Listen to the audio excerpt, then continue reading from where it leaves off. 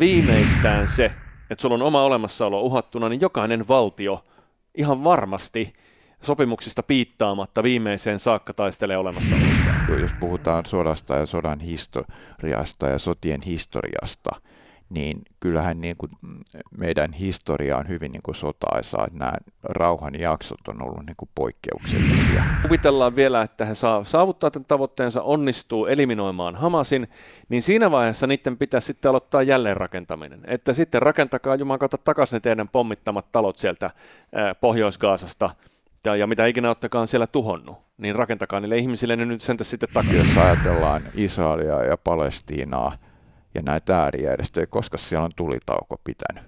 Niin. Ei koskaan. Hello, hello! Mulla on tänään vieraana historioitsija, sotahistorioitsija, okei, okay, kolmen dosenttuurin sotahistorioitsija Lasse Laaksonen, ja mä pyysin hänet tänne vieraaksi puhumaan Israelin ja Palestiinan tilanteesta. Nimittäin mä haluan saada kunnollista oikeaa faktatietoa siitä, mitä on tapahtunut, ja me puhutaan Laaksosen kanssa jonkin verran alkuun Israelin ja Palestiinan historiasta. Sitten me puhutaan pitkät pätkät sotarikoksista, siis kansainvälisestä lainsäädännöstä, sotalainsäädännöstä. Missä kulkee sodan ja sotarikoksen raja? Se me pyritään muun muassa selvittämään. Ja sitten me puhutaan lopuksi vielä Israelin ja Palestiinan välisistä rauhanneuvotteluista. Eli mitä kaikkea on ollut ja miten ne on mennyt ja miksei rauhaa koskaan siellä saada tai ole saatu tähän saakka ainakaan aikaiseksi. Mutta ennen kuin mennään Lasse Laaksosen keskusteluun, niin pari huomautusta. Ensinnäkin, jos haluat tukea kanavaa, se onnistuu kätevästi. Patreonissa mulla on siellä tarjolla kolme eri jäsenyyttä, ja Patreonin jäsenille aina kaikki videot ilman mainoksia sekä kuunteluoikeus kaikkiin kanavan sisältöihin Spotifyssa. Suora linkki Patreoniin löytyy videon kuvaus kentästä.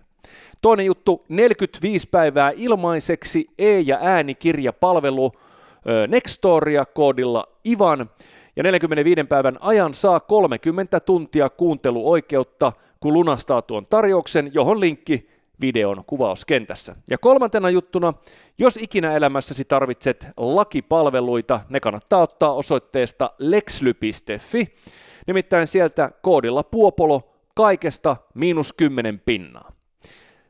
Siihenkin linkki, suora linkki videon kuvauskentässä. Hello, hello! Mulla tänään vieraana historioitsija ja kolmen yliopiston dosentti Lasse Laaksonen. Tervehdys. Kiitos, kiitos kutsusta. Aikaisemmilla kerroilla, kun olet ollut vieraana, me ollaan aina puhuttu Suomen historiasta, sä oot tietysti siihen perehtynyt hyvin, mutta myös lähi historiaa, ja se on tietysti tässä nyt kiinnostava tässä tilanteessa, kun Gaasan ja, äh, siis anteeksi, Hamasin ja Israelin välinen sota on käynnissä, ja mä ajattelin, että käydään kylmiä faktoja läpi äh, tota, nyt tässä lähetyksessä tai tällä videolla. Ja mä ajattelin, että lähdetään liikenteeseen historiasta, lyhyesti historiasta, että miten, miten se alue on siellä kehittynyt, koska siihen aina palataan. Mun omat tiedot on siitä vähän huonot, niin mitä siellä on sellaista, mikä pitää historiasta ymmärtää Israelin ja Palestiinan väliltä? No, no lähtökohtaisesti tietenkin se, että jos ajatellaan niitä historiallisia taustoja, niin lähi alue, nämä alueethan oli brittien mandaattialueita ja ensimmäisen maailmansodan aikana niin kutsuttu Beaufortin julistus, jossa sitten luvattiin juutalaisille oma valtio. Se ei välttämättä ollut itse asiassa lähi sitä kyllä kaavalti aina oli Uruguaykin oli vaihtoehtona ja taisi olla Afrikastakin joku alue, mutta tietysti jos ajatellaan näitä uskonnollisia perusteita, niin tämä valtio sitten äh, ha- haettiin Palestiinasta ja sitten siinä myös vaikutti hyvin vahvasti se, että, että tämä sionistinen liike 1800-luvun lopulla, joka oli lähtenyt liikkeelle ja voimistunut, niin se, siinä oli mukana eräänlaista nationalistista ajattelua ja myös uskonnollista perustaa. Ja tämä kahden valtion malli, se oli se, joka oli niin kuin lähtökohta. YKhan tämä ratkaisi sitten toisen maailmansodan jälkeen. Tämä oli niin kuin Briteille semmoinen kuuma peruna, joka haluttiin pois.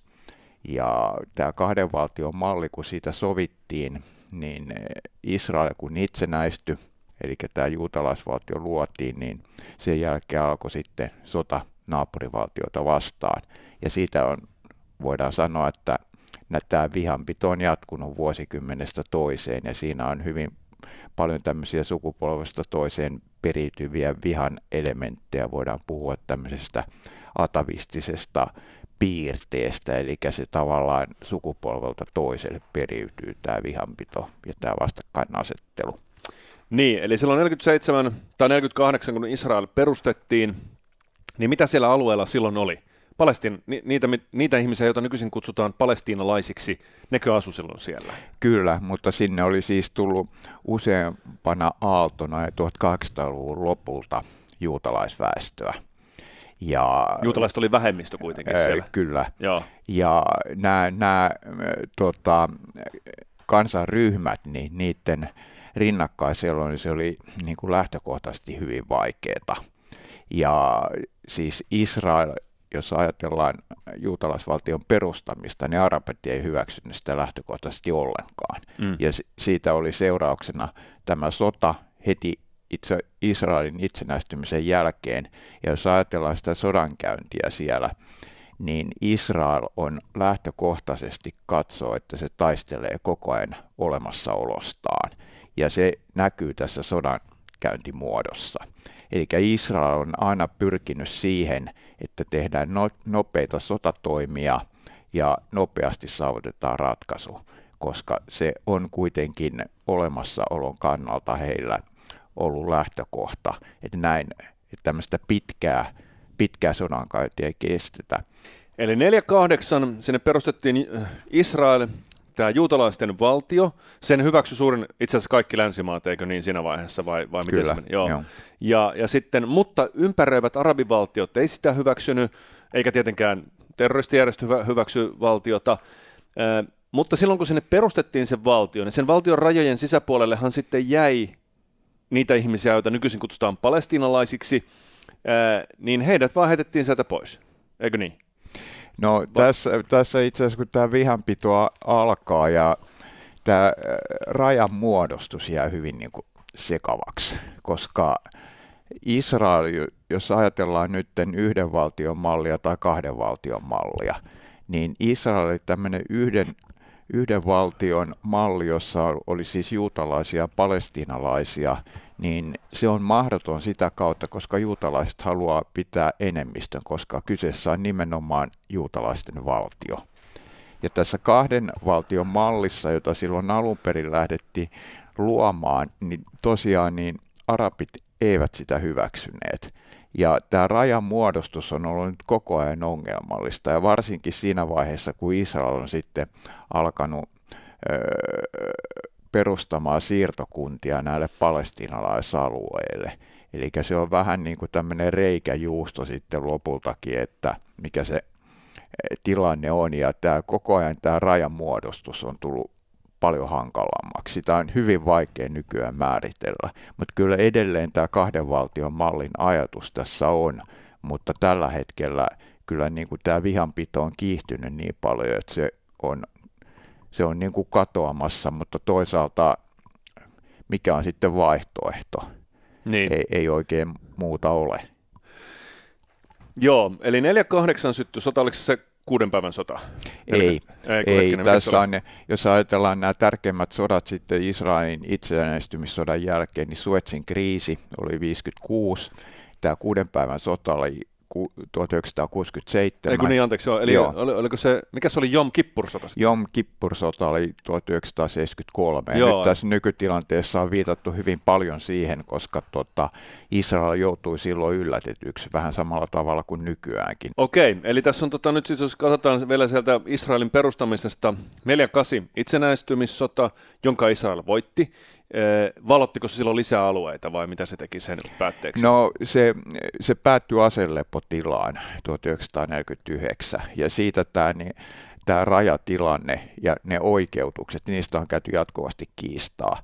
Ja itse asiassa jos puhutaan sitten siitä, että koska ollaan niin päästy lähimmäksi tätä ratkaisua, niin nämä Oslon neuvottelut ja kaksi sopimusta. Joo, ota tullaan Osloon kohta, mä vielä haluan tämän selväksi. Eli 48 syttyi sota, joka, joka päättyi 49 aselepoon.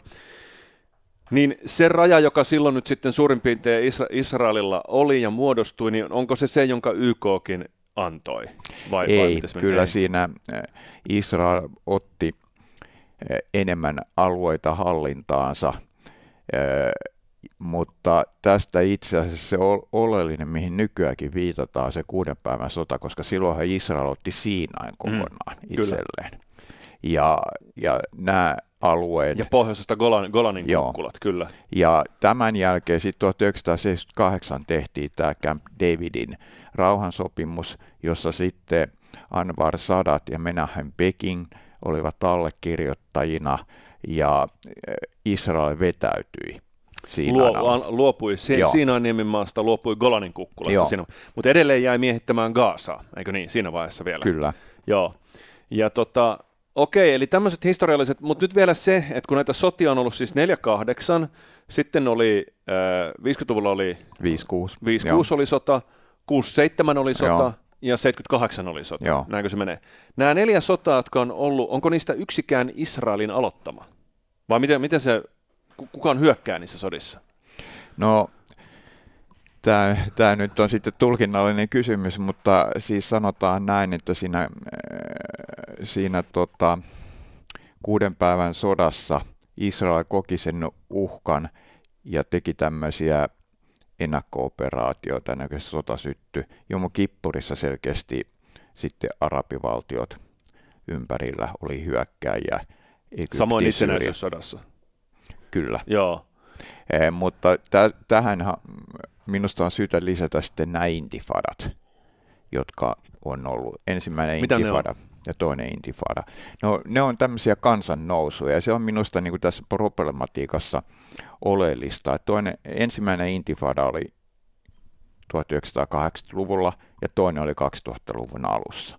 Eli ne on tämmöisiä kansannousuja, johon liittyy nimenomaan nämä terroriteot, itsemurhaiskut ja vastaavat, jotka tässä niin kuin koko ajan hiertää, jos ajatellaan tuota sodankäyntimuotoa.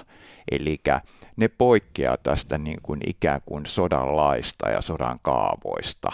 Ja Israelin niin kuin näkökulmasta tosiaan niin nämä iskut, kun niitä tulee sitten jatkuvasti, ne koko ajan niihin sitten vastataan, koska Israel on kuitenkin niin kuin sotilaasti ylivoima, voimainen, niin niihin vastataan. Ja ne aiheuttaa paljon semmoista niin kuin pahaa verta. Et meillähän on olemassa kansainvälinen lainsäädäntö, mutta näin historian tutkijana niin täytyy olla kyllä hyvin kyyninen siihen, että koska, koska niistä on koska ne ovat pitäneet, ei koskaan. Joo, eli to, otetaan kohta sekin, mutta nyt siis mä käyn läpi tämän vielä. 48 oli sota, äh, jonka Israel voitti. Se oli arabivaltioiden aloittamaan, siihen liittyi muitakin arabivaltioita Joo. sitten lopulta kaikki vähän mukaan ja näin. Okei, se voitti, voitti Israel sen. Äh, viisi Kuusi oli sota, jonka Israel voitti. No se oli Suetsin kriisi. Siinä käytiin itse asiassa niin kuin Suetsin kanavan asemasta äh, kiistaa ja se lopultakin niin voidaan sanoa, että se sota tai niin kuin tämä, se, se asetelma oli aika erilainen, koska siinä oli paljon niin kuin kansainvälisiä toimijoita ja Suetsin kanava oli niin kuin tietysti niin kuin liikenneyhteyksien kannalta tärkeä ja kun Egypti kansallisti sen, niin siinä sitten oli mukana suurvaltoja ja muuta ja, ja tota, se ei nyt sinänsä niin kuin Israelin olemassaoloon Joo. Okei, se on vähän sivuseikka. Eli meillä on se 48 sota, sitten on 6-7 sota, joka oli tämä kuuden päivän Joo. sota, jonka Israel voitti selvästi ja valloitti lisää alueita. Joo. Silloin se otti Siinain niemimaan ja Golanin kukkulat, ja Jerusalemistakin muistaakseni kai jotakin. Ja sitten tullaan vuoteen 78, jossa se luovuttaa pois Siinain niemimaan ja Golanin Joo. kukkulat jälleen sodan päätteeksi. Ja sitten vuonna 2005 vetäytyy lopulta Gaasasta. Eli jäljelle jäänyt tästä äh, länsiranta, äh, jossa, se edelleen, jossa sillä on edelleen siirtokuntia, mutta että jos se vetäisi ne siirtokunnat sieltä pois, niin silloin oltaisiin siinä Israelin valtiossa, mitä YK silloin 48 ehdottikin, eikö näin? no ei aivan, mutta jotakuinkin sanotaan. Okei, okay, suurin piirtein. No niin.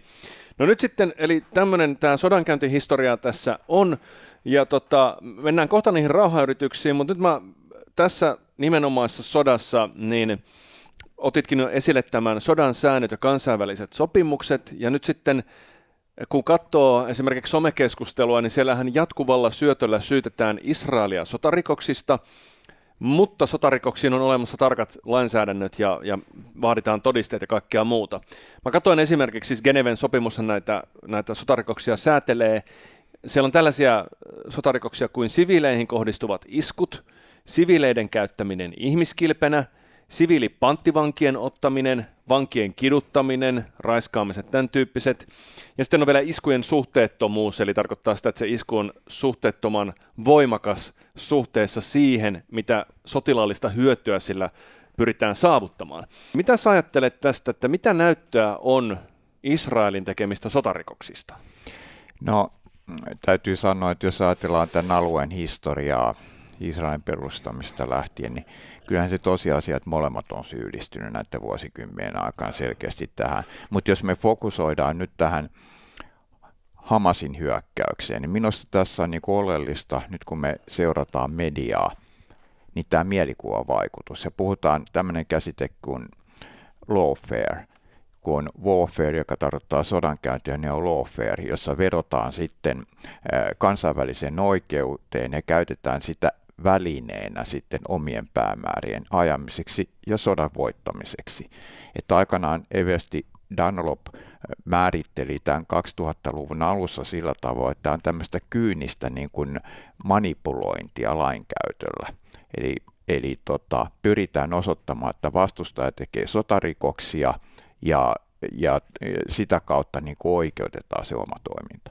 No tässä on nyt se ongelma, että Israel on valtio, ja se on jos ajatellaan lähi koko aluetta, niin se on se ainoa demokraattinen valtio siellä. Et, mm, jos me verrataan Hamasiin, niin Hamas on terroristijärjestö. Ja se, sen ajatuksena on Israelin tuhoaminen. Niin silloinhan tietyllä tavalla, kun puhutaan tätä lainkäyttöä, niin siinä on todella niin kuin vakava dilemma, koska toinen ei lähtökohtaisesti kunnioita niitä ja toinen joutuu ne huomioimaan. Ja nyt tietysti meillä on periaatteet tavallaan niin kuin rikokseen, sä et saa vastaan rikoksella. Mutta tässä nyt, jos nyt ajatellaan sitä, että kun Hamas 70. teki nämä terroriteot, niin nehän kohdistuivat ensisijaisesti siviileihin ja tarkoituskin kohdistaa siviileihin. Sama on sitten näiden itsemurhaiskujen vastaavien kohdalla ne kohdistetaan siviileihin. Ja nyt Israelin kohdalla sitten mm, tämä tilanne on se, että nyt sitten, jos valtiolla on oikeus itsepuolustukseen, missä on nämä rajat ja mikä on tämä suhteellisuusperiaate. Ja äh, tässä äh, tavallaan niin, jos me ajatellaan länsimaalaisittain, niin meillä niin kuin ihmisarvon kunnioitus on aivan toisenlainen kuin jos ajatellaan, että Hamas iskee siviiliä vastaan ja se, se käyttää omia kansalaisiaan ihmiskilpinä ja, ja tota, esimerkiksi tätä tunneliverkostoa rakentaa sillä tavalla, että se on sitten sairaalat, koulut ja muut käytetään tässä niin kuin välineenä, niin tämä monesti unohtuu, kun tässä viimeaikaisessa keskustelussa kovasti niin kuin, ollaan huolissaan palestinalaisten puolesta. Ja tässä on tietysti tehtävä se ero, että Hamas on terroristijärjestö ja siellä on ruohonjuuritaso, joka kärsii tästä tilanteesta. Että nämä on kaksi eri asiaa. Länsiranta ja Kaasa on myös eri asiat, koska länsirannallahan Fatah, joka on PLOn järjestö, niin sehän on huomattavan paljon maltillisempi. Eli tänne Kaasaan keskittyy nämä radikaalit, jossa Hamas pitää valtaa. Et siellä pidettiin vaalit silloin 2005, kun ensimmäinen intifada, anteeksi, toinen intifada päättyi, niin sen jälkeen siellä pidettiin vaalit, ja 2007 niin Hamas on se, joka on valtaa pitävä, mutta se ei sitten tavallaan tämän länsirannan porukan ja Fatahin ja Abbasin kanssa tule toimeen. Että tässä on niin kuin tämän tyyppinen tilanne, mutta yhtä kaikki vielä tuosta kiteyttäisin sen, että tässä Hamasin hyökkäyksessä näissä terroriteoissa, niin siinä mun niin kuin sotahistorioitsijan näkökulma on se, että siinä vähän niin kuin heiluteltiin niin kuin matadori tämmöistä niin kuin, ää, ää, punaista vaatetta siinä edessä, tietyllä tavalla provosoitiin Israel tekemään sitten, odotettiin tämmöistä moukarin iskua, ja tässähän nyt sitten Yhdysvallat on selkeästi niin kuin vaikuttanut siihen, että se maaoperaatio pitkitty, ja tässä suhteessa niin kuin malttia on vaadittu, mutta Hamas käyttää selkeästi hyväkseen tätä tilannetta, että se tietyllä tavalla niin kuin on, on provosoinut Israelin tekemään vastaiskun, ja tässä nyt sitten pitää olla hyvin niin kuin tarkkana, koska jos Israel ajattelee pelkästään niin, että se sotilaallisesti voittaa, niin se poliittisesti häviää, jos mieliala kääntyy sitten sen toimia vastaan. Et tässä, tässä hyökkäyksessä tämä on niin kuin hyvin viheliäinen tilanne siinä suhteessa, koska tosiaan nyt vastapuoli käyttää niin kuin siviilejä kilpenään, niin silloin toisaalta Israelin kohdalla, kun puhutaan suhteellisuusperiaatteesta ja kansainvälisestä oikeudesta, niin on hyvin hankala toimia sillä tavoin, että pystyttäisiin näitä siviiliuhreja välttämään. Niin, okei, okay, mutta tämä mun kysymys on nyt oikeastaan se, että jos katsotaan näitä sotarikoksia, niin tietysti varmasti pitkä lista, mutta nämä tämmöiset pääjutut on, että siviileihin kohdistuvat iskut. Ja tähän väliin otetaan täsmennyksenä se, että siviileihin kohdistuvat tarkoitukselliset iskut on kansainvälisten sopimusten mukaan sotarikos. Siis se, että pommitus pommituksen seurauksena kuolee siviileitä, tämä ei itsessään vielä ole sotarikos. Se on kamalaa, se on hirveää, se on traagista ja sitä ei soisi koskaan eikä missään tapahtuvan. Mutta jos katsotaan ainoastaan sitä, onko kysymyksessä sotarikos vai ei, niin se määräytyy sen perusteella, onko tämä isku tehty tarkoituksella, kohdistettu tarkoituksella siviileihin. Sivileiden käyttäminen ihmiskilpenä, siviilipanttivankien ottaminen ja vankien kiduttaminen, niin nämä on tavallaan kohtuullisen helposti näytettävissä toteen, että sähän näet, että ottaako, käytetäänkö siviileitä ihmiskilpenä tai kidutetaanko sotavankeja, otetaanko siviilipanttivankeja ja muuta. Sivileihin tarkoituksella kohdistuvat iskut, se on pikkusen vaikeampia ehkä näyttää toteen, mutta on siihenkin jotain keinoja olemassa. Sen sijaan tämä iskujen suhteettomuusperiaate, nyt jos ajatellaan, tai suhteellisuusperiaatteet, ajatellaan näin, että kaikki sanoo, että Israelilla on oikeus ää, puolustautua ja tuhota Hamas, koska puolustautuminen tarkoittaa Hamasin tuhoamista, muussa tapauksessa ne iskee kohta taas takaisin, ellei sitä tuhota. Mm. Okei, okay. Israel saa siis tuhota Hamasin. Hamas on piiloutunut siviileiden taakse ja siviileiden joukkoon, Joten jos, jos sitä tuhotaan sitä Hamasia, niin silloin tulee siviilivahinkoja. Okei, tämäkin vielä hyväksytään. Mutta missä vaiheessa tulee se suhteettomuuden periaate, että okei, tämä Hamasin tuhoamisen kustannukset siviileille on liian korkeat. Te ette saa, te, te ette saa tuhota Hamasia, koska eh, oheisvahinkona tulee liian paljon siviiliuhreja. Miten se katsotaan? No, tosiaan, tämä on tämmöistä semanttista saivartelua ja juristeriaa. Se riippuu, keneltä kysytään, mitkä ne rajat ovat. Et tietysti tässä tulee niin kuin mieleen saksalainen filosofi Nietzsche, joka totesi, että kun taistelee hirviötä vastaan, täytyy pitää huolta siitä, että itsestä tule hirviö. Mm. Tämä on hyvin niin kuin hankala ja monimutkainen tilanne, mutta se, että mihin nämä rajat vedetään, siis Hamas, sen, sehän tarkoituksena on hajottaa ja aiheuttaa tämmöistä hajannusta joka puolella. Niin Israel on tässä vähän samantyyppinen tilanne kuin Yhdysvalto, Yhdysvalloilla Vietnamissa. Että vaikka ollaan sotilaallisesti ylivoimaisia, niin sitä ratkaisua ei tahdota millään saada, koska ei tiedetä kukaan ystävä ja vihollinen siellä maaperällä, missä taistellaan. Ja tämä erottelu, niin se on, se on niin kuin tässä tilanteessa käytännössä mahdotonta.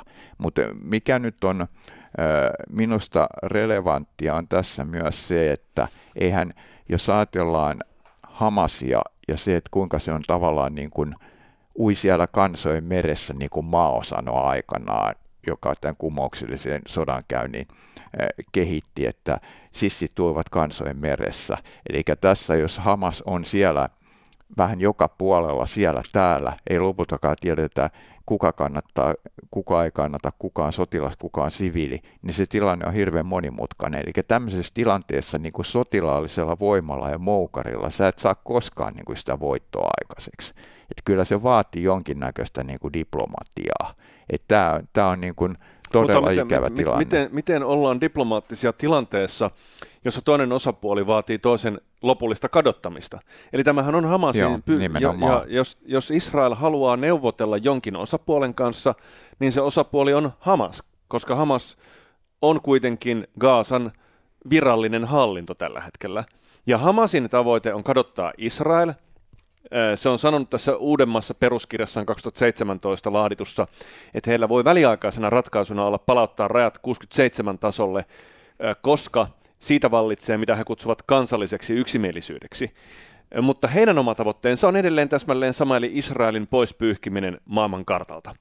Eli jos on osapuoli, neuvotteluosapuoli, sen lähtökohta on tämä, ja se ei myöskään, niin kuin se on itse ilmoittanut, koskaan tule siitä luopumaan – niin mikä on se diplomatia, jota siinä käy? Joo, joo, ei, siis sehän on selkeästi, että eihän terroristijärjestöjen kanssa neuvotella.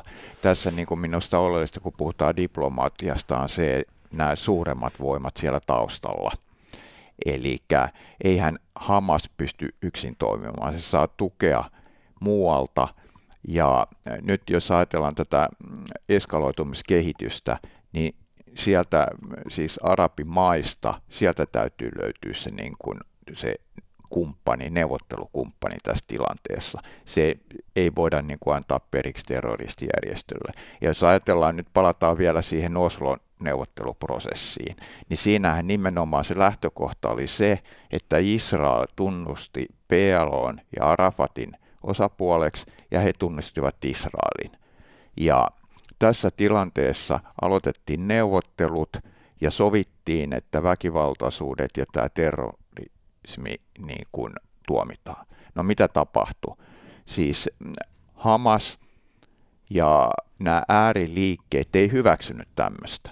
Ja se johti sitten siihen, että niitä itsemurhapommituksia ja vastaavia attentaatteja tehtiin koko ajan. Eli molemmin puolin vai, vai siis, ää, siis Siis tarkoitan sitä, että nämä, nämä tota, jos PLO ja Arafat olivat tässä tehneet tämän tyyppisen ratkaisun, niin nämä ääriliikkeet heidän puolella ei hmm. hyväksynyt sitä. Ja silloin alettiin niin kuin kampittamaan näillä terroriteolla sitä prosessia. Aivan samalla tavalla, jos ajatellaan sitten, että 78 sopimuksen Anwar Sadat, Sadathan salamurhattiin sen jälkeen. Ja nyt tässäkin tilanteessa – on tietynlainen analogia siihen, että jos ajatellaan taustakuvaa, että Israel ja Saudi-Arabia ovat lähestyneet toisiaan, niin nyt nämä ääriliikkeet, Hamas ja muut, niin niiden, ne ei halua tämän tyyppistä kehitystä. Mm. Ja silloin sitä niin kuin terrorisoidaan sitä prosessia koko ajan. Ja tässä on niin kuin nähtävissä niin kuin sitä kausaliteettia, syy-seuraussuhteita, että nyt halutaan niin kuin kärjistää tätä tilannetta.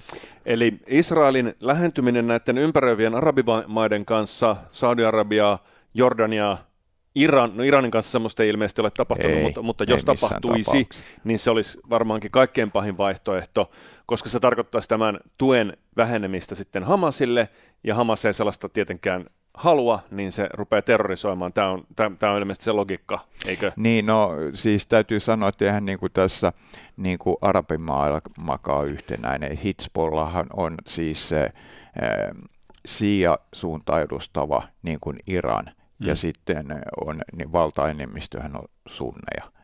Ja, ja, ja tässä suhteessa niin kuin Hitsbollah ja Hamas edustavat tietyllä tavalla niin kuin, äh, eri uskon, uskonnollista suuntaa. Niin Mutta silti, silti on kuitenkin sotilaallisesti kimpassa keskenään. Että no sanotaan näin, että kyllähän niin kuin Israel nähdään tosiaan semmoisena uhkana, että kyllähän se niin kuin yhdistää. Mm. Ja nythän se tilanne on se, että, että siellä pohjoisessa siis Israel joka tavalla haluaa välttää kahden rintaman sotaa. Ja siellä pohjoisessahan tämä tilanne on nyt aika niin kuin kuuma, että toisaalta tietyllä tavalla ää, halutaan painaa jarrua molemmissa suunnissa, mutta kuitenkin näitä vihollisuuksia on. Ja, ja tota, totta kai niin kuin Hamasin intressinä on sitä roihua niin kuin nostottaa Israelia vastaan. Kyllä. Tota, joo, mennään, otetaan kohta no vielä noin rauhanyritykset, mitä tässä on tehty. Mutta mä vielä kerran, kerran otan tuon sotarikosasian siksi, että haluan, haluan, että yleisö ymmärtää, että se, että, siis se on selvää, että Palestiinassa tulee tällä hetkellä, tai siis Gaasassa tulee tällä hetkellä valtava määrä kuolonuhreja. Se ei ole selvää, keitä nämä kuolonuhrit on. Eli onko ne esimerkiksi Hamasin taistelijoita? Israel itse ilmoitti vähän aikaa sitten kuolle- kuolleiden lukumääräksi 20 000 ihmistä, josta se sanoo, että suurin osa on Hamasin taistelijoita. Okei, me ei tiedetä, siis toisin sanoen me ei tiedetä että ihan tarkalleen näitä lukuja, eikä, eikä sitten myöskään sitä, että ketkä siellä on kuollut. Mutta sotarikos ja kansainvälisen lainsäädännön puolelta, ihan jos sitä juridiikkaa siellä katsotaan, niin ei siviiliuhrien määrä ratkaise sitä, että onko tapahtunut sotarikos vai ei, vaan siinä on muut tekijät, jotka ratkaisee sen juuri tämä suhteet, suhteellisuusperiaate. Ja tähän vielä kerran pysäytys ja täsmennys. Eli suhteellisuusperiaate tarkoittaa sitä, että iskun ja voimankäytön täytyy olla oikeasuhtaista siihen nähden, millainen sotilaallinen hyöty tällä iskulla voidaan saavuttaa. Eli jos sotilaallinen hyöty on suuri, niin silloin tämä niin sanottu oheisvahinko saa myös olla suurempi. Ja käänteisesti, jos sotilaallinen hyöty on pieni, silloin oheisvahinkokaan ei saa olla kovin suuri. Ja tämä on jälleen kerran se, mitä kansainvälinen lainsäädäntö sanoo. Tämä ei ole moraalinen kannanotto siihen, mikä on oikein tai väärin.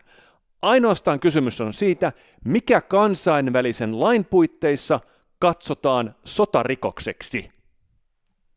Eli jos esimerkiksi sotilaallinen tavoite, sanotaan vaikka kun USA oli kaatamassa Osama bin Ladenia, eli tässä meillä on, se on, se on ykköstargetti, erittäin arvokas sotilaallinen kohde, niin siinä kaato-operaatiossa, siinähän sallittaisiin varmaan aika paljon kansainvälisen lain näkökulmasta, koska tässä on kysymys niin merkittävästä henkilöstä. Tulkitsenko mä oikein tätä? Ja sitten taas, jos on, jos on sotilaallinen ikään kuin maali tai, tai se hyöty, jonka saavutat niillä operaatioilla on paljon pienempi, niin siinä ei myöskään hyväksytä sitten yhtä paljon tätä äh, niin kuin collateral damagea, eli tota, sivus, sivusseurauksena tullutta vahinkoa. Niin, no se on tämä, tämä dilemma on nimenomaan tässä suhteellisuusperiaate, ja Joo. Kuka, kuka sen määrittelee. Et tässä yhteydessä nyt meillä on tämä kansainvälinen nämä Geneven sopimukset, konventiot ja ne lisäpöytäkirjat, jossa kyllä niin kuin käydään läpi kauniisti nämä, mitä, mitä niin kuin, äh, voi tehdä ja millä periaatteella ja mitä ei saa tehdä, mutta miten niitä tulkitaan ja miten niitä hyväksytään.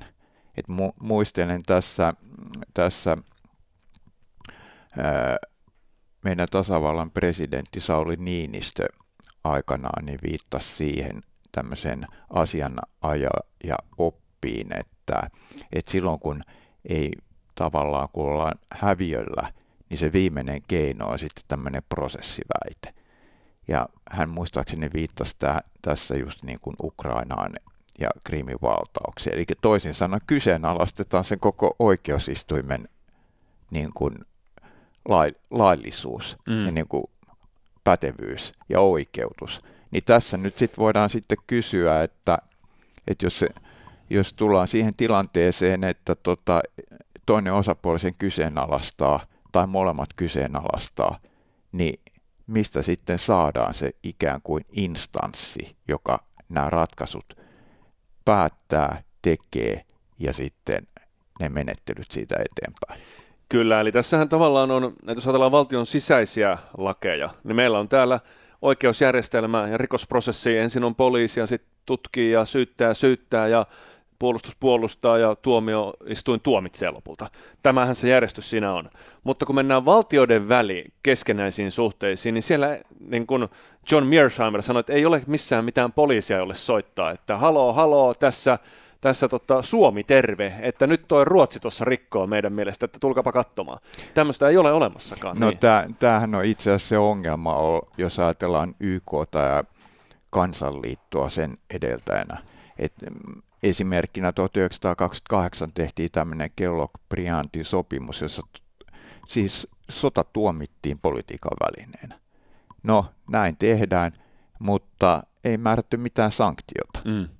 Niin silloinhan, jos ajatellaan, kun mentiin muutama vuosi eteenpäin, mitä tapahtuu Aasiassa ja myöhemmin Euroopassa, niin eihän näillä ollut mitään merkitystä. Samaten YK on ongelma on tässä nyt tällä hetkellä se, että siellä ei ole tosiaankaan semmoista, semmoista nyrkkiä, joka voisi niin kuin määritellä, määritellä tämän tilanteen sillä tavoin, että pakotetaan tavallaan ne osapuolet olemaan kunnolla keskenään. Että nythän jos puhutaan näistä kansainvälisistä laista, niin siellähän on, on niin kuin mahdollisuus, että turvallisuusneuvosto tekee ratkaisuja tämän rauhan pakottamisen, mutta niin kuin tiedetään, niin sehän on niin kuin rampa ankka ollut tällä hetkellä, koska siellä on kuitenkin Venäjä ja Kiina, jotka vetävät hyvin niin kuin erilaista linjaa ja pystyvät aina veto-oikeudella kumoamaan. Eli tässä suhteessa esimerkiksi lähi problematiikassa ei pystytä te- tekemään mitään tämmöistä rauhan pakottamisoperaatiota. Niin ja eikö se mene näin, että okei, voidaan sopia joku ylevä kansainvälinen periaate, joka mukamas kieltää sodan, mutta sitten kun jonkun oikean supermahdin Yhdysvaltojen intressi edellyttää sotaa, niin se käy sen sodan joka tapauksessa. Ei, ei, ei sitä kiinnosta siinä vaiheessa se, mikä se, että et se valtion intressi viime kädessä, jos se on riittävän suuri, niin se kumoaa aina ne sopimukset. Että esimerkiksi just tilanteessa, jossa, en tiedä, Yhdysvalloilla voisi olla joku muukin intressi kuin oma olemassaolon uhka, mutta että viimeistään se, että sulla on oma olemassaolo uhattuna, niin jokainen valtio ihan varmasti sopimuksista piittaamatta viimeiseen saakka taistelee olemassaolostaan. Kyllä, ja no. vahvemman voima vaikuttaa. Näkyyhän se siis, jos nyt verrataan niin kuin eh, Venäjän hyökkäyksiä Ukrainaan, niin eihän sielläkään niin kuin nämä kansainväliset lait päde mitenkään. Mm, mm. Että jos toinen osapuoli ne kyseenalaistaa niin kuin täysin eikä sitoudu niihin, niin silloin on vaikea niin kuin löytää sitä rauhanratkaisua. Sama tilanne on nyt niin kuin Israelin ja Hamasin kohdalla. Kyllä. Tämä on vähän sama kuin parisuhteeseen laatisi sellaiset säännöt, että, että aina kun tulee riita, niin istutaan alas rauhassa ja diplomaattisesti neuvottelemaan. Koskaan ei koroteta ääntä eikä kiroilla. Tämmöisen, tämmöisen tota, paperin voisi laatia, mutta se ei koskaan pidä yhdessäkään parisuhteessa. Okei. Okay. Tota, Ää... Niin, tässä tuohon, tuohon voisi lisätä tässä, että jos puhutaan sodasta ja sodan historiasta ja sotien historiasta, niin kyllähän niin kuin meidän historia on hyvin niin kuin sotaisaa, että nämä rauhan jaksot on ollut niin kuin poikkeuksellisia. Ja yle, yleensä kun puhutaan sitten sodasta, siihen liittyy paljon niinahaa, siihen liittyy paljon raakuuksia puolin toisin, niin se johtaa sitten sen tyyppiseen kierteeseen, että tosiaan niin silloin nämä lait siinä vaiheessa vaikenee kokonaan, koska, koska tota, sota on vaikea käydä rajoitetusti, mm. jollain niin kuin sakkinappulasäännöillä tai sillä tavoin, että, että siinä olisi jotain semmoisia niin, niin kuin pidäkkeitä. Että sitten kun ne vihollisuudet kasvaa ja kasautuu, niin silloin kyllä käytetään sitä kaikkea voimaa, mitä on. Kyllä. Tässä täytyy siis yksi asia, mikä ehkä on hyvä ymmärtää tässä Israelin sodankäynnissä on se, että Israel ei hyödy sotarikoksista mitään. Että sen intresseissä ei varmasti ole tehdä sotarikoksia, siis tie, tieten tahtoen, koska se ainoastaan kääntää kansainvälisen mielialan entistä voimakkaammin sitä vastaan, ja siitä on sille todella paljon haittaa. Eli nyt jos me ajatellaan näitä kahta eri narratiivia, tässä on Israelin tarjoama narratiivi, joka sanoo, että me haluamme tuhota Hamasin ja me haluamme minimoida siviiliuhrit niin hyvin kuin se ikinä vain on mahdollista. Ja sitten meillä on toisella puolella toinen narratiivi, Israelin vastainen, joka sanoo, että Israel pyrkii tuhoamaan palestiinalaiset viimeiseen ihmiseen saakka siellä. Tämä on tavallaan karrikoidusti se. Niin jos näistä kahdesta jompi, katsotaan, mitä oikeasti tapahtuu. Israel on ilmoittanut siviileille viikkokaupalla, mitä tulee tapahtumaan. Menkää pois siltä alueelta, eli Pohjois-Gaasasta. Tämä tulee olemaan sotatoimialue. Lähettänyt tekstiviestejä, puheluita, tekee näitä koputuksia, eli pieniä papatteja tavallaan katolle, että häipykää. Lentolehtisiä pudottanut miljoonia. Ja todella toimii niin kuin sanoo niin kaikki viittaa siihen, että se ei ole tekemässä kansanmurhaa, vaan se on todella pyrkimässä siihen tavoitteeseen, jonka se ihan aidosti sanoo, eli tuhoamaan Hamasin.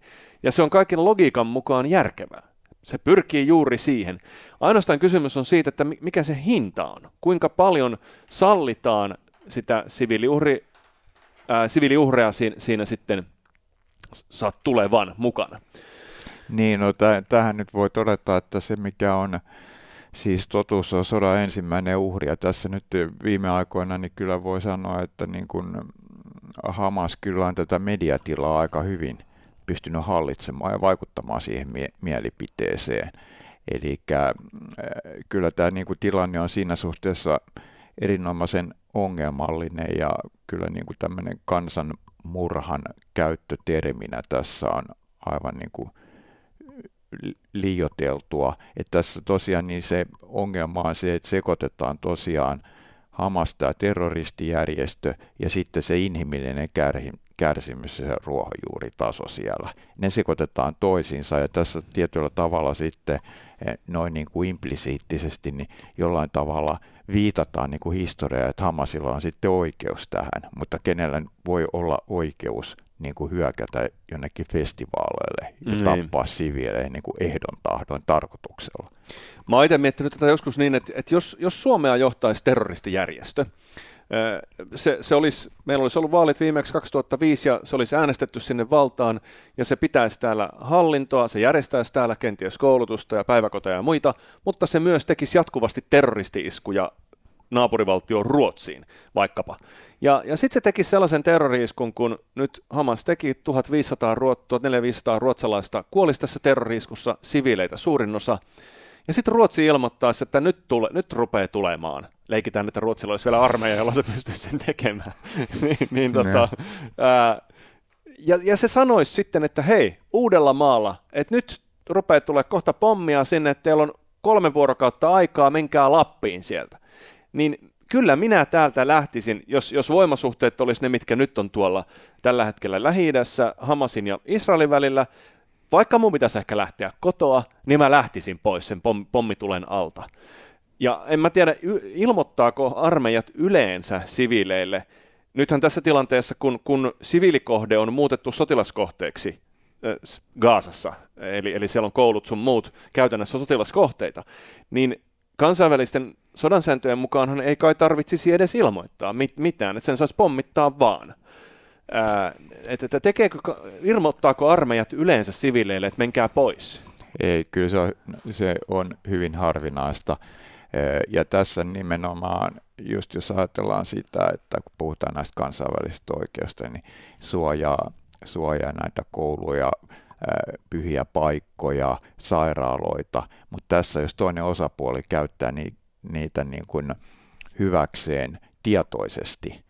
Ja tässä suhteessa niin, niin kuin tapattaa omia kansalaisiaan niin kuin tämän oman päämääränsä edistämiseksi, niin tämä on minusta se niin kuin, asia, jota ei voi liikaa tässä korostaa. Mutta se, että kun viittasit tähän Lappiin siirtymiseen ja muuhun, niin tota, se, se inhimillinen niin kuin ongelma siellä ruohonjuuritasolla on just se, että he eivät pääse sieltä pois, koska Egypti esimerkiksi ei halua sinne mitään ää, tätä Kaasan väkeä, koska heillä sitten taas on pelko siitä, että sieltä ne väkivaltaisuudet siirtyy sitten omalla alueelle. Mm. Ja tässä suhteessa niin eh, tosiaan eh, nämä, miten nyt sanoisi, rauhanomaiset eh, ihmiset siellä Kaasassa, niin on tässä niin kuin puun ja kuoren välissä. Mutta eikö ne kuitenkin voi, ymmärrän, että se ei ole helppoa. Mä ymmärrän, että inhimillinen kärsimys on, on siellä valtava. Mä en yritä ollenkaan vähätellä sitä. Mä vaan mietin, että mitä, te, mitä siinä tilanteessa kannattaa kannattaa tehdä, kun tietää, että nyt sieltä alkaa tulla. Et ei ainakaan kannata jäädä sinne alueelle, miss, missä tämä vastustaja ilmoittaa, että kohta rupeaa tulee pommeja. Niin eikö he voi kuitenkin mennä eteläosaan Gaasassa? Ei siellä varmaan, en tiedä missä siellä voi yöpyä muuta, mutta siellä periaatteessa on siinä mielessä turvallista, että sinne ei tule pommeja. Kö? No, tästähän meillä ei ole niin tarkkaa tietoa se, että millä tavalla Hamas täällä käyttäytyy, koska se on aivan selvää, että he haluavat tästä ottaa sen näin ikävästi sanottuna sen PR-voiton. Ja silloin ei ajatella sitä ruohonjuuritason parasta, vaan se, että saadaan tämä oma missio läpi. Ja tässä yhteydessä niin on tarkoituksenmukaista, että niitä siviiliuhreja tulee, tai ainakin yritetään näyttää, että niitä tulee mahdollisimman paljon, jotta sitten tämä sotilaallisesti ylivoimainen valtio, jota ei tunnusteta, pystyy saamaan sitten niin paljon kielteistä julkisuutta, niin kuin nyt maailmalla näkyy, että on paljon tämmöisiä mielenilmauksia, ja kun katsoo näitä sloganeita ja muuta, niin tulee välillä niin kuin kysyneeksi, että onko nämä ihmiset kuinka perehtynyt historiaan. Että se on helppo ruokkia niin kuin tässä tilanteessa nyt ja näin. Että tosiaan, että ollaan niin kuin inhimillisyyden puolella, mutta täytyy niin kuin ymmärtää ne tosiasiat, jotka liittyy tähän kontekstiin ja ylipäätänsä sotaan. Eli so, sota poikkeaa aivan täysin siitä, ihmisten luonne muuttuu ja se psykologia, mikä tällä alueella on, se vihanpito, niin siinä on pitkät juuret taustalla. Mm. Mitä jos siellä nyt, nythän vaaditaan tulitaukoa, eli tehdään nyt vielä käsitteellinen ero humanitaarisen tauon ja tulitauon välillä. Humanitaarinen taukohan tarkoittaa ehkä kahta kolmea vuorokautta, että saadaan lääkkeitä ja ruokaa ja kaikkea muuta tarpeellista sinne alueelle rauhassa. Ja tulitauko tarkoittaa sitä sitten huomattavasti pidempää ajanjaksoa, tarkoittaako se rauhan neuvotteluita ja mu- muuta tämmöistä siihen sitten kanssa. Mutta mitä tämä tulitauko tarkoittaisi? Mitä se seura- seurauksia sillä olisi? No se tarkoittaa sitä, että kaikki niin kuin sotilaallinen toiminta ää, lopetetaan. Ja Vetäytyisikö Israel sieltä silloin pois koko Gaasasta? Tarkoittaako se myös sitä? Ää, no se riippuu mitä sovitaan, mutta siinä on niin kuin oleellista se, että tämä niin kuin aseellinen toiminta lopetetaan. Se on kirjaimesti tulitauko. Mutta tässä nyt, kun taistellaan terroristijärjestöä vastaan, niin tämä palvelee Hamasin etua, koska he pystyvät järjestäytymään tämän tulitauon aikana. Eikä tässä tulitauko on tietyllä tavalla myös sodankäynnin väline. Et se voi kuulostaa niin kuin, äh, ihanalta ajatukselta, että lopetetaan tämä aseellinen toiminta, mutta tässä suhteessa se palvelee nimenomaan toista osapuolta – Se, mikä on sitten, kun puhutaan näistä humanitaarisista tauoista, niin se on sitten asia erikseen. Sen voi niin kuin nähdä tässä inhimillisen todellisuuden kannalta niin kuin tavoiteltavana, mutta tämä tulitauko on tässä tilanteessa kyllä niin kuin mahdoton. Mutta toisaalta, jos puhutaan tästä humanitaarisesta toiminnasta, niin siinä sitten seuraava kysymys on, että miten se sitten palvelee tarkoitustaan, miten sinne voidaan viedä viedä niin kuin tarvikkeita, apua, meneekö se perille, meneekö se oikealle instanssille. Nämä on hirveän niin kuin monimutkaisia kysymyksiä. Niin. Ja sitten jos ajatellaan taas sitä kontekstia, niin jos ajatellaan Israelia ja Palestiinaa ja näitä äärijärjestöjä, koska siellä on tulitauko pitänyt? Niin. Ei koskaan. 70. Pelkä... 70. loppu tulitauko. Et, et, et, tässähän sehän on pelkästään, niin kuin voi sanoa, tulitauko rikkomisen historia. Niin. Joo, siis ja mulle itselle tulee koko ajan mieleen tämä, että, että kun, jos Hamasin tarkoitus on tuhota Israel, ja heti kun se saa tilaisuuden, se myös ryhtyy toimiin, niin ainoa tapa, jolla voi, voi siis tämän lopettaa, on lopettaa Hamas. Mutta jos Hamasin lopettamisen lopettaminen ei onnistu sotilaallisesti, niin miten se sitten onnistuu? Poliittisesti heidän kanssaan ei voi neuvotella, joten ei ole enää mitään vaihtoehtoja kerta kaikkiaan jäljellä. Ja si- siitä mi- minun mielestä seuraa, että jos sitä eron halutaan, niin silloinhan lopulta se sotilaallinen ratkaisu on ainoa vaihtoehto, koska poliittinen ei ole. Ainoa sitten, mitä sanoit, hyvä, se hyvä huomio, että neuvottelee muiden maiden Joo, kanssa, näin. että saa ne puolelle, puolelleen, niin se on toki yksi vaihtoehto. Ei, onhan siis Hamas on riippuvainen ulkoisesta tuesta. Niin. Ja nimenomaan tämä, nämä ulkoiset tukijat on ne, jotka on minusta tässä niin kuin se äh, tota, relevantti. Eli heidän kanssaan pitää niin kuin saada tämmöinen niin kuin neuvotteluyhteys ja halu siihen, että tämä ratkaisu saadaan aikaiseksi ja nämä tavallaan nämä äärisiivet sitten leikataan pois ja ne pakotetaan, niin. pakotetaan niin kuin, toimimattomiksi. No tässä on tietysti se, että mm, mikä on niin kuin ihmiskäsitys täällä lännessä monesti niin kuin peilataan sitä, että myös niin kuin jos puhutaan nyt Hamasista, että heillä olisi niin kuin samanlainen käsitys ihmisarvosta, mikä ei ole siis totta, jos ajatellaan sitä niin kuin tiedetään, että kun on, on tämä pyhä sota-ajattelu ja marttyyrit ja siinä on tietyllä tavalla niin kuin, koko niin kuin käsitys kuolemasta on aivan toisen tyyppinen. Ja se näkyy sitten esimerkiksi nyt, kun puhutaan näistä panttivangeista ja niistä neuvotteluista, niin, niin Israel ja Yhdysvallathan on ollut hyvin sensitiivisiä, jos ajatellaan aikaisemminkin tämmöisiä tilanteita siitä, että, että tota, esimerkiksi vankien vaihdossa ja muuta, niin tämä suhde on ollut hyvin niin kuin suuri, että saadaan niin kuin muutamakin oma sieltä pois ja sitten annetaan niin kuin vastin, tuhat vastineeksi. Niin, niin. Joo. Kyllä, kyllä, niin aivan, että siinä näkyy tämä tota, ajattelutapojen Ja ero. se, se myös mer- merkitsee sitä, että kun halutaan näitä pa- panttivankeja saada elävinä, niin siinä sitten joudutaan sitten rajoittamaan sitä toimintatapaa, kun toisella osapuolella, joka ei välitä, niin sillähän on paljon laajempi menetelmävalikoima. Niin, Tässähän oli Hamasin johtaja, yksi heistä haastateltavana Memri TVssä, siitä pyöri klippi Twitterissä ehkä viikko pari sitten, jossa hän itse sanoi, että he, he toistavat tämän iskun, joka oli 70. vaikka miljoona kertaa niin kauan, että valloittaja saadaan sieltä pois. Mutta sitten siinä, tähän liittyen hän sanoi, että he ovat ylpeä, mart, ylpeää marttyyrikansa, eli se, se on heidän ihan siis se ei ole tavallaan mikään salaisuus, vaan, vaan he sanovat sen ihan aidosti ja suoraan, ja se on heille ylpeyden aihe myöskin, tämä marttyyritoiminta. Mutta otetaan hei tähän vielä näitä rauhanyrityksiä, eli nyt tämä kahden valtion malli on jonkunlaisen konsensuksen mukaan ainoa, joka siellä voisi edes mitenkään toimia, jos sekään nyt sitten voi toimia. Mutta kuitenkin. Ja siihen on yritetty päästä. Tavallaan siihen yritettiin päästä vuonna 1947, kun YK teki tämän esityksen kahdesta eri valtiosta. Se oli ehkä ensimmäinen yritys. Sen Israel hyväksyi, arabit eivät, ja syttyi tämä sota, josta aikaisemmin puhuttiin. Mitä muita rauhanyrityksiä siellä on ollut? No kyllä niitä on tietysti jatkuvasti ollut tämä vuoden 78, 1978 tämä Camp Davidin sopimus, jossa tosiaan niin kuin Egypti ja Israel sopivat sitten tekivät rauhan ja näitä Egyptiltä vallattuja alueita sitten palautettiin.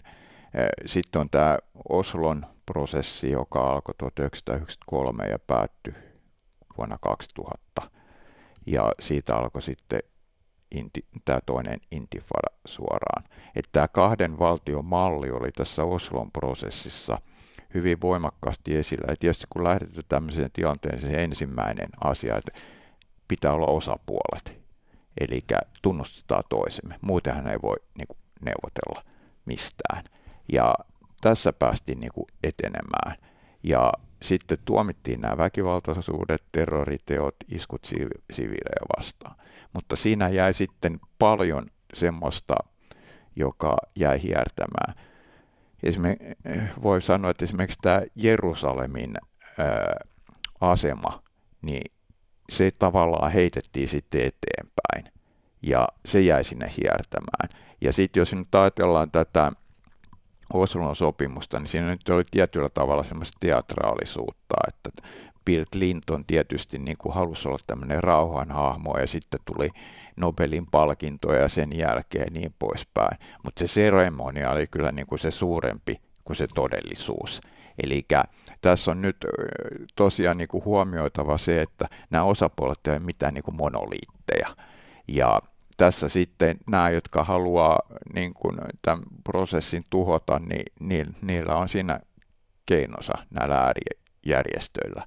Ja tässä nyt sitten tavallaan tämä jäi hiertää tämä tilanne, ja aina kun asiat pitkittyy, ne sitkistyy, ja huolimatta siitä, että, että tota, PLO ja Arafat olivat tässä niin kuin myötämielisiä, niin lopputulema oli sitten kuitenkin se, että kun tullaan vuoteen 2000, niin siellä on kuitenkin näitä äärisiipiä, ja ne tulee, eh, jouduttiin niin kuin Arafatin ja PLOn taholta huomioimaan. Ja sitten tämä niin kuin Camp Davidissa 2000, niin tämä paletti kokonaan niin kuin hajosi. Mm. Et silloinhan itse asiassa eh, noihin aikoihin Israelissa oli pääministerinä Parak, joka oli huomattavan paljon niin kuin maltillisempi kuin esimerkiksi Netanyahu. Et siinähän oltiin kyllä, eh, molemmin puolin tultiin niin kuin vastaan, mutta sitten tosiaan nämä ääriainekset tavallaan vei sen vallan ja alkoi tämä toinen intifada, joka kesti sitten sen viitisen vuotta. Ja eh, silloin ne väkivaltaisuudet niin kuin roihahti uudestaan. Ja sitten se tavallaan teki tyhjäksen muutaman vuoden prosessin, jossa lähennyttiin, mutta tosiaan niin ei, ei siinä ollut mitään semmoista niin kuin valmista paperia tai ratkaisua likimainkaan, jos mm. suoraan sanotaan. Ja tietysti tämä kahden valtion periaate, niin jos me nyt katsotaan historiaa, niin kyllä ne on aika itse asiassa huonosti toiminut tai sillä tavalla, että jaetaan näitä alueita. Jos me ajatellaan esimerkiksi ex-Jugoslavia, niitä sotia, tai vaikka sitten 20-luvulta niin jotain Yläsleesian kysymystä Puola ja Saksan välillä, että, että se on niin kuin kaunis ajatus, että antaa kansan itse päättää ja sitten vedetään rajat sen mukaan. No mitä, molemmat osapuolet sitten manipuloi sitä jollain tavalla, kuka saa äänestää, kuka on siihen oikeutettu, kaikki tämän tyyppiset. Se on, se on todella niin kuin hankalaa. Joo. Tota, eli, eli onko nyt kuitenkin niin, että nämä, nämä kahden valtion mallit, joita on esitetty, mulla on siis tällainen käsitys, että, että kahden valtion malleja, kun niitä on esitetty, niin Israel on kyllä niihin suostunut. Eli jossakin, jokin oli vielä sellainenkin, missä Israel ää, näin, länsirannan siirtokunnista olisi ollut valmis ainakin suurimmasta osasta niistä luopumaan ja tosiaan vetäytyi Gaasasta ja muuta, eli, eli hyvin lähelle palauttanut tämän kaiken sitä tota, 6-7 rajoja, mutta, mutta sekään ei sitten ole kelvannut. Muistanko mä oikein tämmöisen, tota, jossakin näissä rauhanprosesseissa oli tämmöinen e, e, pöydällä ja, ja se sopi kyllä Israelille. Ee, siis äh, tämä siirtokuntakysymys on ollut koko ajan tässä se ongelma silloin 90-luvulla. Ja äh, nythän ne siirtokuntien määrät ne väkimäärät, jotka siellä on, niin nehän on lisääntynyt koko ajan, ja tämä ongelma tulee koko ajan hankalammaksi. Et silloin itse asiassa Oslon prosessi aikanahan jaettiin, la, jaettiin tämä länsirannan alue, että siellä oli tämmöiset A, B ja C-vyöhykkeet tai alueet, joissa sitten oli erilaiset hallintomallit. Mutta nämähän oli, nämä oli siis väliaikaisia papereita. Tämä Oslon sopimus oli niin tarkoitettu väliaikaiseksi, mutta sitä lopullista maalia ei koskaan siihen ei koskaan päästy. Mm. Ja nimenomaan siihen vaikuttaa tämä, että se sodankäynti siellä, niin se, se on tätä niin kuin terroria. Et se, se ei ole samantyyppistä kuin jos nyt ajatellaan jotain konflikteja jossain muualla maailmassa. Et tässä on niin siis tämä historia, tämä uskonto, tässä on niin kuin kaikki tavallaan elementit sille, että on niin kuin hankala kaos. Ja nyt kun tämä on vienyt vuosikymmen, tämä niin kuin menee koko ajan tavallaan, kaikotaan siitä kahden valtionkin mallista. Eli, eli sillä on ollut kannatusta, mutta sillä on ollut nyt kannatusta, siis jos ajatellaan maltillisia palestiinalaisia Abbasin hallintoa länsirannalla ja Israelin kohdalla, niin kyllä se niin kuin tietyllä tavalla menee nyt kauemmaksi. Ja aina nämä väkivaltaisuudet johtaa siihen, että kun se ei ole semmoista, niin kuin, miten nyt sanoisi, tavanomasta, konventionaalista sodankäyntiä, vaan siihen liittyy koko ajan tämä, että nämä siviilit on kohteena ja se on yleensä niin, se aiheuttaa huomattavan paljon pahempaa vertaa. Että enää ei olla siinä tilanteessa, että keskiajalla, että se ukot ratsastaa toisia vastaan ja ja se on niin kuin selvä piirteistä. Et nyt tässä on niin kuin kadonnut kokonaan tässä tämmöisessä nykyaikaisessa sodankäynnissä se, että mikä on itse asiassa sodan ja rauhan raja, mikä on siviilin ja sotilaan raja ja sitten vielä nämä sopimukset ja niin tosiaan tämä niin kuin law, lawfare siinä, että tota, et kaikki on vähän niin kuin semmoista sekavaa höttöä. Plus sitten se, että tämä mielikuvavaikuttaminen on noussut aivan niin kuin uuteen uskoon, koska aikaisemminhan oli pulaa tiedosta ja tiedon välityksessä. Nyt sitä tulee joka puolella ja sitä hämmennetään ja sekoitetaan. Joo, otan, mä kysyn vielä semmoisen kysymyksen, että leikitään nyt, että Israel saisi tämän tavoitteensa, että se eliminoi, minkä se on ilmoittanut siis tavoitteeksi, Hamasin tuhoaminen. Okei, siellä on nyt sotilasprotokollat sille, että kuinka paljon, kuinka monta prosenttia Hamasin sotilaallisesta ja aseellisesta kyvykkyydestä pitää eliminoida, jotta voidaan sanoa, että okei, nyt se on tuhottu se järjestö. No leikitään, että nyt se saavuttaa sen, sen mahdollisuuden. Sitten Israel on, että okei, nyt me ei enää ammuta ja paukuteta. Mitä ne tekee? Ne menee nyt ilmeisesti Netanyahun mukaan he menevät sinne alueelle ja, ja pysyvät siellä toistaiseksi. Tämä on se hänen tekemässä mitä? Mitä ne siellä partioi, että ei synny siis synny tota vastarintaa Israelia vastaan, vaan mikä se idea siellä sitten? Partioi samalla tavalla kuin amerikkalaiset aikoinaan Afganistanissa tai Irakissa vai? No tässähän on nyt ongelmana se, että ei ole sitä selkeitä suunnitelmaa ja päämäärää se niin kuin selkeä target puuttuu. Mm. Et tässä niin kuin eletään tämän tilanteen ja mielikuvien mukaan. Et, äh, siis äh, Israelissa, jos nyt ajatellaan sitä, niin mikä on se päämäärä? Sitä ei tiedetä itsekään. Se, se elää tämän tilanteen mukaan ja sekin tekee tästä asiasta hirveän hankalan, koska tota, täytyisi olla niin kuin selkeä tavoite ja päämäärä ja toimia sen mukaan. Ja nyt kun tämä tilanne velloo, niin silloin pystyy, pystytään sitten käyttämään taas tätä mielikuvavaikutusta hy- hyväksi. Mm. Et si, siinä ei ole niin kuin, äh, se, on, se on sitä hämmentämistä. Niin, eikö mulle tulee vaan mieleen, että siis äh, yhdysvaltalaiset oli Afganistanissa ja ylläpiti siellä näennäisdemokratiaa tavallaan pakkovallan keinoin, ja heti kun ne sieltä lähti, niin siellä oli takas sitten talibanit vallassa jälleen, ja demokratialle hei hei, ja naisten oikeudet meni siinä No tähän, tähän on niin kuin Yhdysvaltain taholta viitattu sitä kautta, että Israel teki samoja virheitä, että niin kuin Yhdysvallat teki.